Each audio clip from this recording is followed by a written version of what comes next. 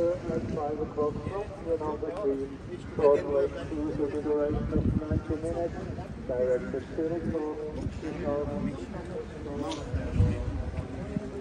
to